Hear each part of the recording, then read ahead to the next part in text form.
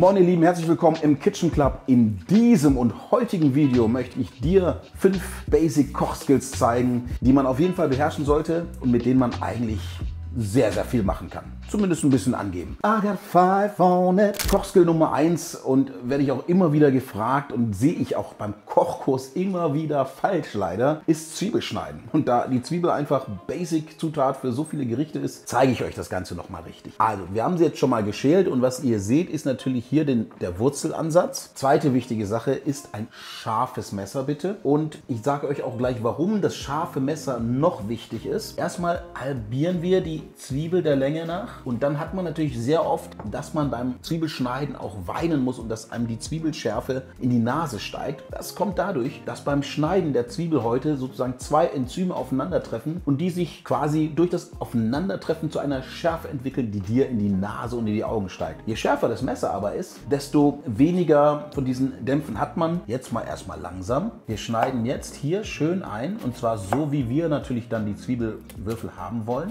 Und ihr seht, dass sich immer hinten ein Stück ungeschnitten lasse. Dann wichtig, hier der Krallengriff. Ne? Also hier, damit bewegt ihr das Messer hin und her und schützt eure Finger. Und jetzt, wie gesagt, schön nicht ganz durchschneiden, weil jetzt ist es geschnitten, aber die Zwiebel bleibt noch schön zusammen. Und jetzt kommt der nächste Schritt. Jetzt schneidet ihr nämlich, um die Würfel zu haben, waagrecht. Das heißt, auch hier rein, aber bitte auch hier wieder nicht ganz durch, so dass diese halbe Zwiebel schön von ihrer Wurzel und dem Ende zusammengehalten wird. Und je öfter ihr einschneidet, desto feiner werden die Würfel. Und jetzt bleibt beim Schneiden auch gerne die Messerspitze wie eine Lokomotive auf dem Brett. Das zeige ich euch jetzt nochmal. Das müsst ihr mal ausprobieren. Einfach mal eine Trockenübung machen. Messerspitze bleibt wie eine Lokomotive. Und jetzt seht ihr, durch diesen Schnitt.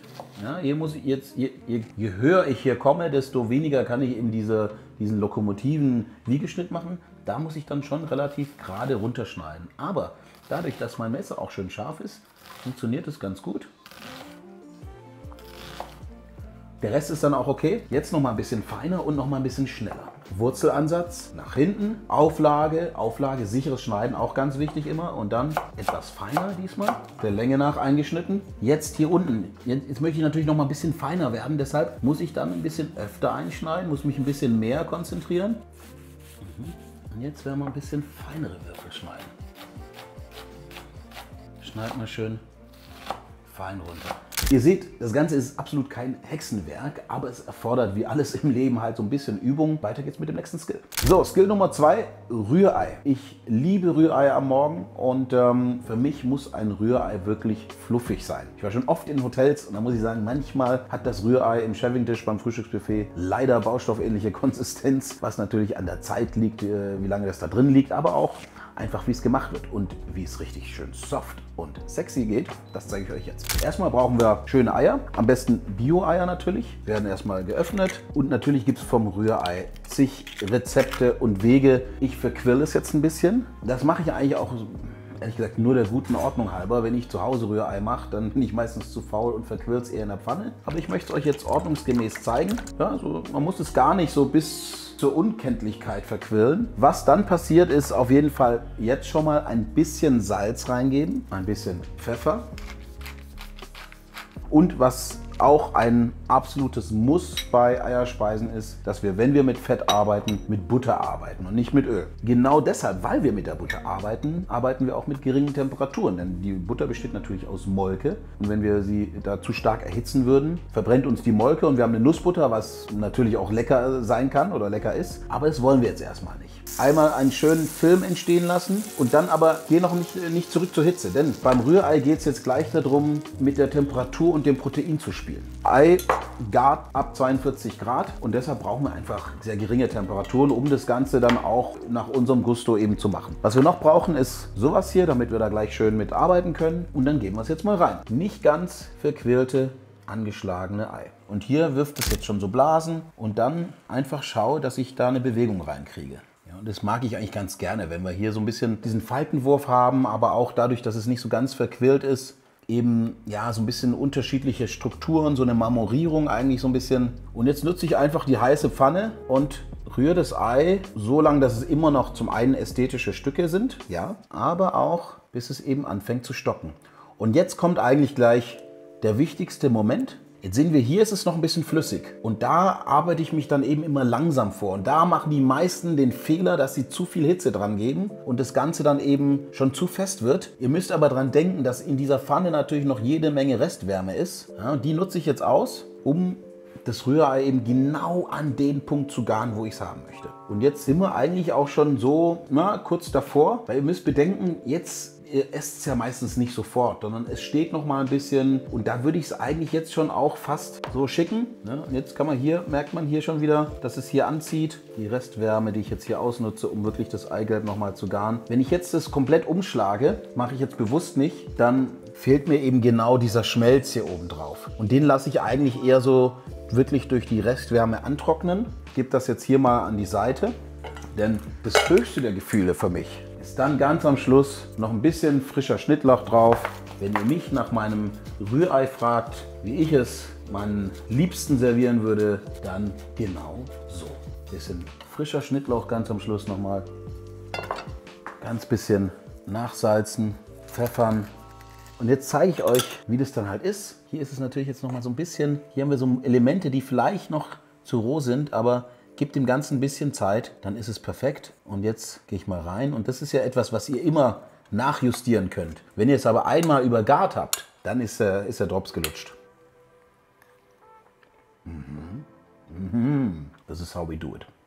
Mein nächster Skill für euch ist Fischbraten. Viele fragen mich immer wieder, ah, wie brate ich richtig Fisch oder welche Pfanne soll ich mir kaufen, weil mein Fisch immer klebt. Es ist natürlich auch hier so, natürlich eine gute Pfanne ist schön, aber es geht immer meistens um Hitze und um äh, Know-how. Ich zeige euch jetzt, wie man perfekt Fisch brät. Ich habe mir dafür eine schöne Dorade geholt, denn Dorade hat eine schöne, eine schöne Haut die wunderschön kross werden kann. Was ich immer schön finde beim Fischbraten ist das Ziselieren. Das heißt, mit einem scharfen Messer die Haut vorsichtig einschneiden, dafür gerne so ein bisschen auf Spannung halten, den Fisch. Es ist immer dasselbe Prinzip. Vergrößerte Oberfläche, Röstaromen, mehr Spaß, mehr Knack, mehr Textur und genau deshalb kann man es machen. Und dann würzen wir erstmal. Und jetzt gibt es zwei Möglichkeiten, Fisch zu braten. Erstmal brauchen wir natürlich Fett. Da empfehle ich ein Sonnenblumenöl oder ein Rapsöl Olivenöl geht natürlich auch wunderbar. Wichtig ist, die Pfanne heißer werden zu lassen, als man denkt. Ich mache das jetzt auf zwei Arten. Den einen gebe ich mal in etwas Mehl. Das ist vielleicht die Anfängermethode. Also wenn man wirklich sagt, pass auf, ich habe ein bisschen Schiss oder meine Pfanne ist wirklich nicht so gut, dann kann man das Ganze mehlen und tut sich da ein bisschen leichter. Aber man braucht es eigentlich nicht. Und warum, das zeige ich euch jetzt. Hier ein bisschen runter mit der Temperatur. Wichtig, von euch weg einlegen, denn das Fett spritzt dann von euch weg und nicht auf euch zu, damit ihr euch nicht verbrennt. Dann wichtig, langsam arbeiten. Viele machen hektisch, schmeißen das irgendwie rein, machen dies, das, jenes. Ne? Easy, tranquilo. Ganz entspannt wieder dazu schieben. Nochmal würzen von der, von der Fleischseite jetzt. Hautseite haben wir schon bereits gewürzt. Nochmal Pfeffer. Und dann haben wir jetzt hier den Herd natürlich aus. Den müssen wir wieder hochstellen, damit wir wieder auf Temperatur kommen. Ihr seht ja jetzt, dass hier schön am Rand das Ganze schon braun wird. Und das ist der Moment, wo ich dann auch gern mal schon mal gucke, was ist hier passiert. Dann ruhig auch manchmal an der Stelle, wo ihr merkt oder das Gefühl habt, da ist noch nicht so, da nochmal leicht andrücken. So. Was man dann natürlich noch machen kann, ist Aromen dazugeben. Ja, zum Beispiel jetzt ein schönes Stück Rosmarin mit dazu schmeißen. Das ist schon fast durch. Das hat gereicht, ihn von der Hautseite zu garen. Und jetzt sehen wir hier eine wunderschöne Kruste. Das heißt, ich lege es jetzt wirklich nur noch mal ganz kurz auf die Seite. Zack, zack, wenn ihr wollt, eine kleine Butterflocke hinterher, vielleicht ein Spritzer Zitrone und das war's. Wir gehen raus. Jetzt machen wir das Ganze nochmal mit dem gemehlten Fisch. Auch hier wieder schön heiß von euch weg einlegen, schön easy. Dann schauen wir nochmal drunter, was passiert ist. das sieht ganz anders aus, ne? Auch schön, aber natürlich ganz anders, ne? Ganz anders als der ohne Mehl. Und dann haben wir es auch hier wieder. Ja, hier sind wir, seht ihr schon, ist schon durchgezogen in der Zwischenzeit. Das muss man immer so ein bisschen mitbedenken, dass der Fisch dann ja auch noch mal ein bisschen steht und genug Restwärme hat. Das heißt, der ist jetzt deutlich glasiger hier noch. Ruhig einen Ticken früher rausnehmen, aber beide Fische sind schön kross. Ne, hört ihr? Probiert es mal aus. Skill Nummer 4.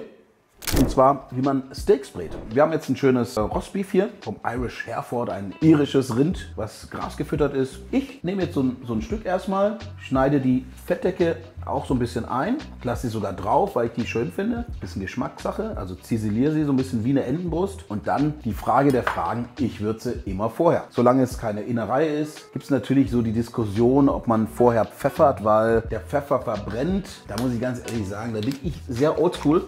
Ich pfeffer auch vorher. Und dann habt ihr es schon gesehen. Pfanne steht auf, ähnlich wie beim Fisch heißer als man denkt. Fett kräuselt sich schon so ein bisschen. Sonnenblumenöl, Rapsöl, ein Öl, was ich gut erhitzen kann. Und dann auch hier wieder von mir weg einfach schön einlegen mit Ruhe, ganz easy. Und es geht darum, eine Verkrustung hinzubekommen, eine schöne gleichmäßige Verkrustung. Das ist das, was Spaß macht, die Röstaromen, der Bratensaft nicht rausläuft, diese, das Verkaramellisieren sozusagen der Muskelstränge. Das ist das, was uns letztendlich Spaß macht, was für eine Bräunung sorgt. Und Fleisch war jetzt auf Zimmertemperatur, finde ich persönlich immer ganz schön. Es gab natürlich zum einen schneller, ist nicht so Temperaturunterschieden ausgesetzt. Also ich lege mein Fleisch immer ein bisschen vorher schon mal raus. Dann drehen wir das Ganze um. Wenn wir das Gefühl haben, jetzt ist es schön. Schöne gleichmäßige Bräunung. Was man dann noch schön machen kann, ist das Ganze ein bisschen zu übergießen. Mit dem Fett stützen wir die Bräunung nochmal. Wenn das Steak relativ flach ist, brate ich es eigentlich nur von beiden Seiten an. Sobald es ein bisschen höher ist oder hier jetzt mit der Fettdecke, lege ich es tatsächlich auch nochmal auf die andere Seite und vor allem auf diese Seite. Wenn ihr mehrere Steaks in der Pfanne habt, könnt ihr die natürlich auch so schön gegeneinander legen, damit wir wirklich die Bräunung von allen Seiten haben. Das ist dann natürlich das höchste der Gefühle. Jetzt gehen wir damit gleich in den Ofen, denn ich brate Steaks so gut wie nie in der Pfanne fertig. Hier gebe ich immer gerne nochmal ein paar Aromen dazu. Rosmarin, Knoblauch, Thymian, was ihr mögt mit und dann ab in den Ofen. Entweder bei niedriger Temperatur relativ lange oder wenn es mal schnell gehen soll bei 180 Grad. Das wäre für mich der Klassiker. Ein Blech drunter, damit der Bratensaft abtropfen kann, aber das Ganze dann auf ein Gitter geben, damit die heiße Luft schön drumherum zirkulieren kann. Wir haben hier die Aromen drauf. So muss das sein. Und wir Sportsfreunde nutzen jetzt diese Pfanne, die Hitze, die Röstaromen, das Fett, um eine schnelle Bratensoße herzustellen. Und das ist dann Skill Nummer 5 und der letzte Skill für heute. Ja, ich glaube, ein großes Thema beim Kochen ist natürlich Soße. Soße kochen ist eine Kunst und hier geht es jetzt darum, zu Hause, wenn ihr was kocht, euch eine schöne, schnelle Jus zu machen. Das heißt, wir haben das Fett, wir haben die Röstaromen. Ähm, was brauchen wir? Klassisch wie bei jeder Jus äh, das sogenannte Mirepoix. Wurzelgemüse bestehend aus Sellerie und Karotte und Lauch. Und man startet immer erst mit dem Gemüse, was länger braucht. Gehen dann wieder ein bisschen hoch mit der Temperatur. So, sobald das erste Gemüse, das Wurzelgemüse, anfängt Farbe zu nehmen, zu rösten, können wir mit dem anderen äh, Gemüse weitermachen. Das heißt, Lauch dazugeben, Zwiebeln, ja, ein bisschen was nehmen wir hier noch dazu und lassen es schön nochmal dunkel werden hier alles. Jetzt sehen wir, dass natürlich besonders die kleinen Stücke anfangen zu dunkel zu werden, ein bisschen zu verbrennen, das ist aber gar nicht schlimm. Jetzt können wir eigentlich weitermachen. Um diesen Vorgang, den ich hier natürlicherweise habe, noch ein bisschen zu unterstützen, nämlich der Zucker, der aus dem Gemüse austritt, gebe ich hier ganz bisschen Braunzucker dazu, nicht zu viel. Ich möchte keine Dessertsoße haben, aber so ein bisschen. So, jetzt brauchen wir natürlich noch Umami, Glutaminsäure, die wir in Form von Tomatenmark dazugeben. Wir tomatisieren jetzt das Ganze. Auch nicht zu viel, aber so, dass das Gemüse eben schön umschlossen ist von Tomatenmark. Dieses schöne Gemüse löschen wir jetzt ab. Erstmal mit rotem Portwein. Auch der hat natürlich wieder Süße und Zucker. Und dann muss es genau so passieren, dass es eben die Röstaromen losgekocht werden, wieder langsam ein bisschen reinbrennen, darf ruhig wieder noch mal ein bisschen Röstaromen entstehen und die kochen wir dann wieder los. Aber dann nicht mehr mit Portwein, weil sonst wird unsere Soße zu süß, sondern dann gehen wir auf klassischen Rotwein. Fängt wieder an anzubraten, also löschen wir wieder ab.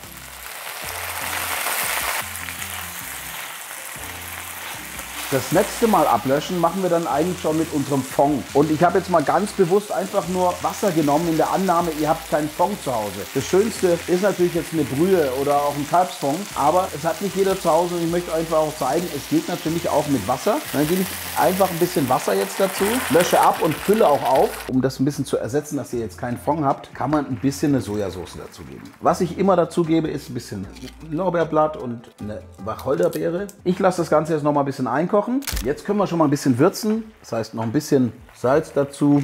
Wenn ihr Gewürze dazu gibt, wie Thymian oder Rosmarin, dann immer erst in den letzten Minuten kurz reingeben lassen und wieder raus. Denn Gewürze geben sonst einfach ähm, einen zu starken Eigengeschmack auf die Soße und verändern die zu stark. Das soll alles immer nur unterschwellig sein und deshalb wirklich nur kurz dazu geben. Jus ist jetzt reduziert. Die gebe ich jetzt erstmal durch ein Sieb. Und jetzt können wir die Soße, wenn wir wollen, noch ganz bisschen abbinden.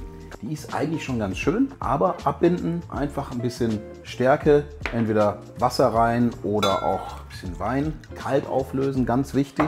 Die Jus kocht parallel schon auf. Und dann müssen wir da ganz vorsichtig sein. Wir haben ja nicht viel. Das heißt wirklich nur ein bisschen Stärke reingeben. Wichtig ist bei der Stärke halt, dass wir die einrühren und dann die Jus auch richtig aufkochen lassen, damit die Stärke sich auch entwickeln kann. Was man natürlich auch machen kann, ist noch ein bisschen mit kalter Butter abbinden. Die gilt es dann schnell einzurühren. Ein bisschen Stärke geht noch rein.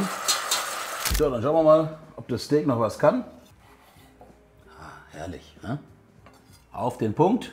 Das legen wir uns jetzt hier schön dran. Ich finde es immer schön, nochmal so ein bisschen Meersalz auf die Schnittfläche zu geben. Und dann haben wir unsere Soße. Die geben wir dann jetzt hier schön dran. Es geht schnell, ihr müsst es einfach mal ausprobieren. Fuchst euch ein bisschen rein, schaut das Video, abonniert den Kanal, schreibt mir, sagt mir, was eure Erfahrungen genau mit diesen Basics sind, wie ihr kocht, äh, wie es bei euch ausschaut. Schickt mir auch gerne Bilder. Wenn ihr Ideen habt, was es für Skills gäbe, die ich euch noch zeigen könnte, dann schreibt mir einfach, was wollt ihr sehen, wo ist es euch immer schon mal schwer gefallen oder wo habt ihr gesagt, ach, da Dingen, das kriege ich nicht hin, der Müller muss es richten. Schreibt mir, bis bald, euer Nelson.